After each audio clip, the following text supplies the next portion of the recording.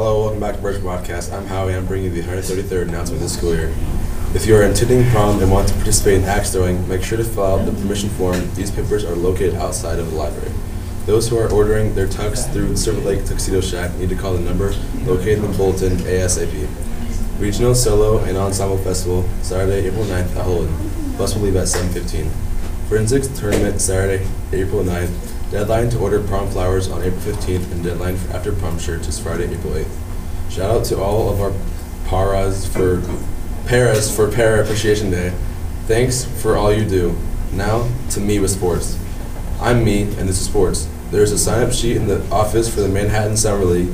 Please sign up for Thursday, April 14th. Cost for the Summer League is 50 bucks. There's a junior high track meet tomorrow at Silver Lake starting at 3 p.m. Bus will leave at 1:50.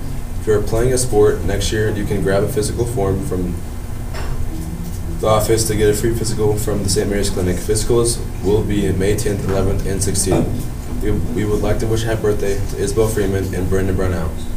Last week, we got into the March Madness spirit and used our very scientific method to predict the winners in our in the Final Four. Let's see if the, if the predictions were correct.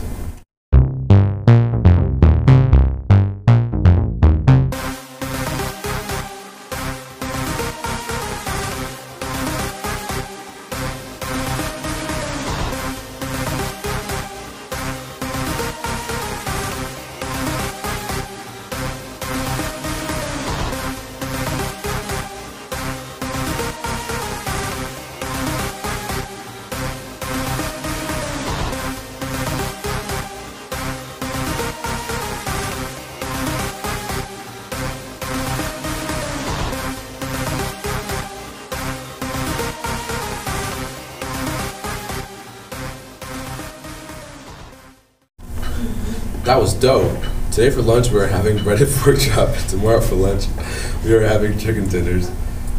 One, your useless information for today is one fourth of the bones in your body are in your foot. Well, that's all the time I have for, I have for today.